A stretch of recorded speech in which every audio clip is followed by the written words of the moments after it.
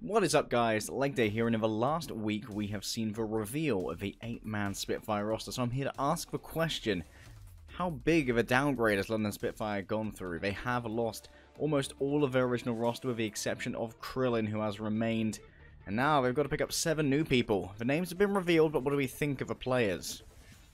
Let's start off with the main tank, JMac. Previously over the last year he's been playing with LGE Huya over in Contenders China. And uh, he's also played in three international events, the NEXT Cup Spring, the Pacific Showdown, and Contenders Gauntlet, across which LG Huya did not win a single match.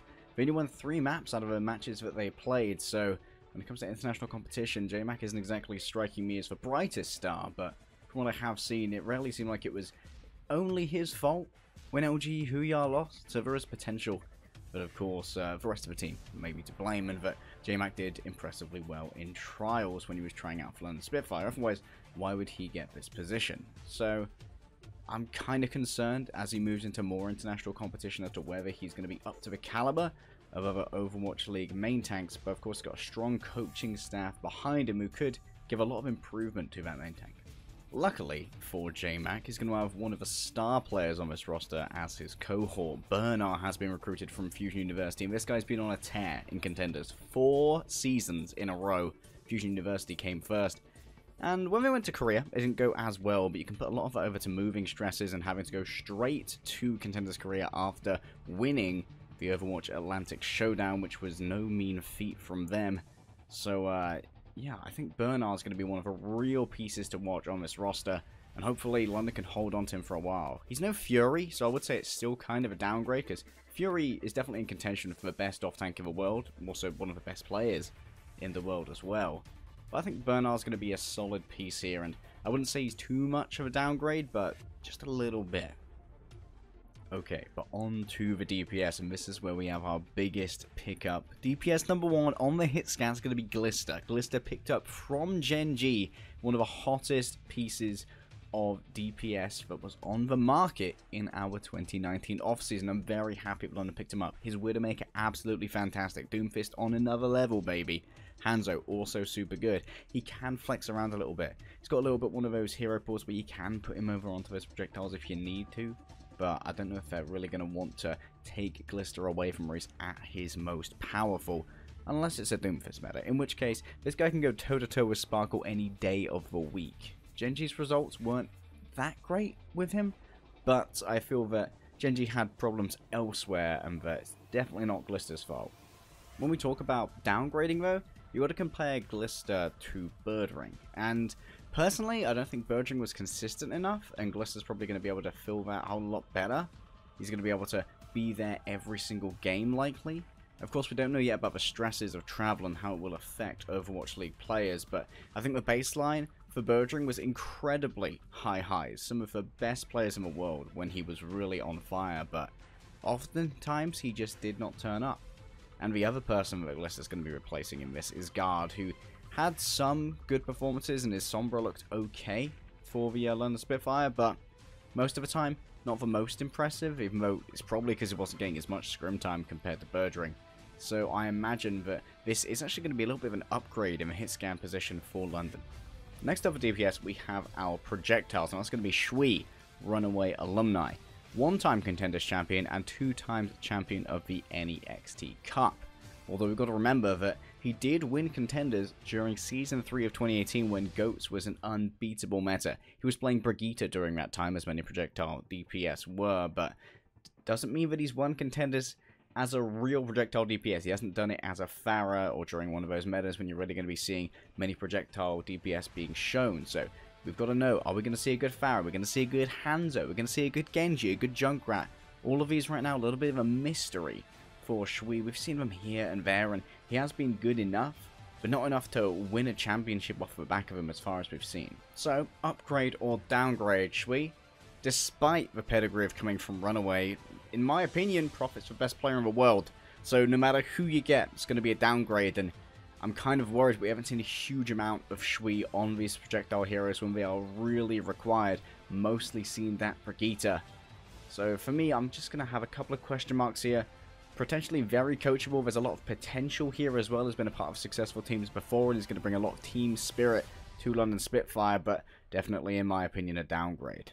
Okay, let's move on to look at main supports. There are two of them, as we did get rid of both Quatermain and Nuss. Now we have Fuse and Sanguinar, and I gotta admit, this is gonna be the portion where I start to question things, because Fuse has never looked that individually great to me. Of course, with main support, it can be very hard to look like you're popping off unless you're funny Astro. The Lucio and the Mercy is often quite a thankless task, and it's very hard to look good if your team are not, but Fuse, he's been across MVP Space, MVP Infinity, Gen G as well. These are all sort of a significant amount of backing behind them, but very few good results from these teams while Fuse has been on them. He's also played on Fusion University, and they didn't look great, but I'm not going to hold that one against him too much because he was imported towards the end of a contender season to try and uh, fix an ailing team that had just uh, sent Elk home, and they were trying to get someone who would be able to synergize with Alarm, but Fuse is a, a somewhat question mark approach from me, but at least he does seem to have reliable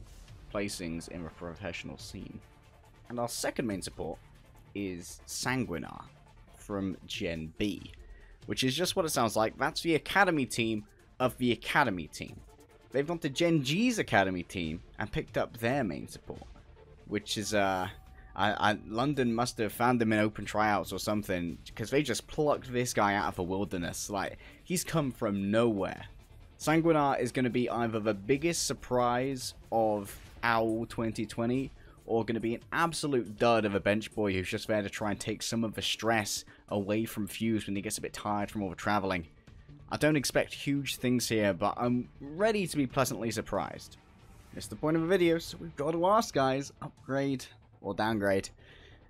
I'm going to go with a definite downgrade right here. Quatermain and Nuss, they were never the strongest part of London, and it was going to be very hard when you had so many stars on the team to be the strongest part as a main support. But Nuss was a championship winner, won season one, definitely showed that he could pull out a clutch performance on the big stage, and Quatermain was at least somewhat reliable on that main support. And I definitely have no early recognition of these guys in terms of how we're going to be able to stack up.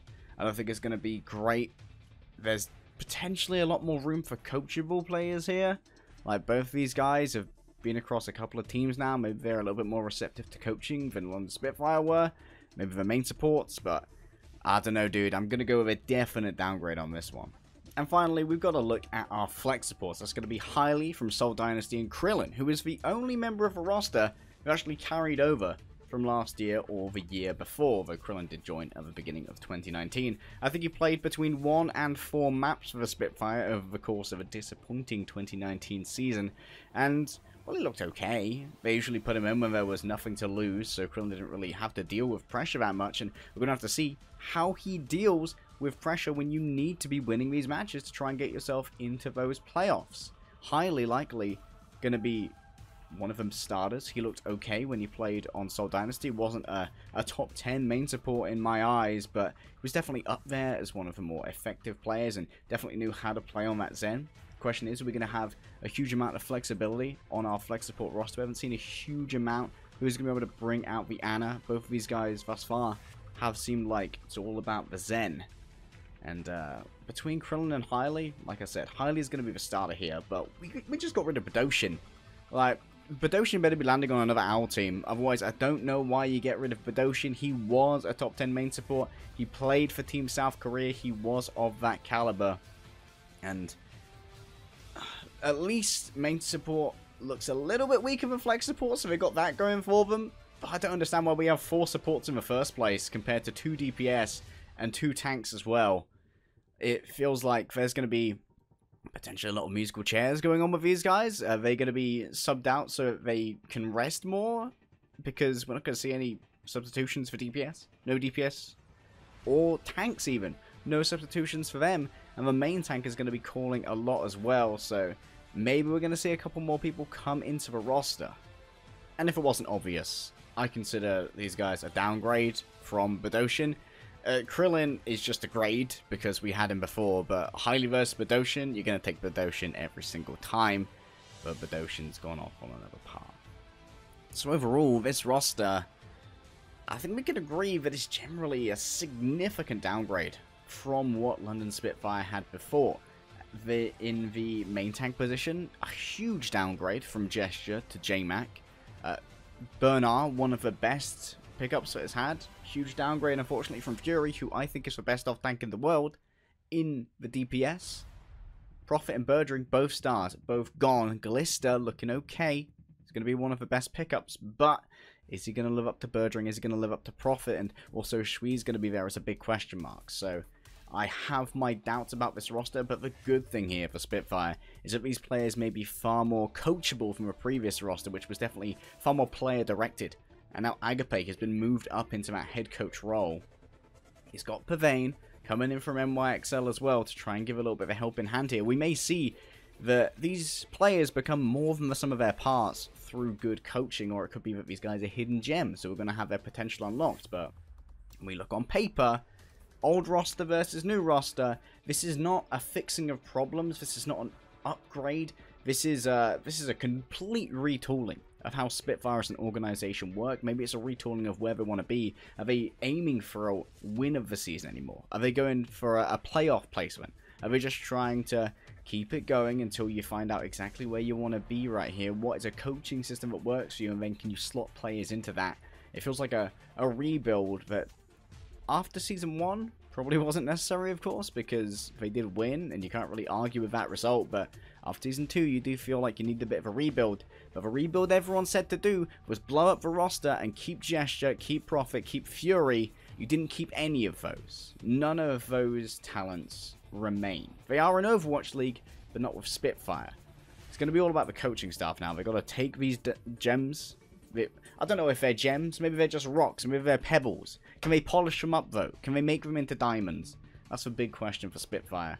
And I'm kind of salty that Spitfire did not pick up Kaiser because I don't know if anyone on this roster speaks English and we're looking to go into a homestand model. And I feel like you really need someone on your roster who speaks English. I thought one of the best pickups that Spitfire could make in this offseason would be Ark because he's got really good English. He's really charming. He's charismatic. People are going to want to talk to him at home stands. The same for Kaiser. Kaiser's beloved, good English. People are going to want to talk to him when they come to home stands in London. If you've got no names on your roster, and if no names can't speak English, is there going to be a huge temptation for people to spend that money to get those VIP tickets, spending upwards of £500 to get those VIP tickets as well? Personally, I doubt that. Hey guys, thank you very much for watching this video. If you enjoyed it, make sure you look down below, find my Twitter tag, go follow me there so you know exactly where to find me when new videos are coming up, like and subscribe and all that jazz, and I will see you guys next time we break down some more Overwatch stuff.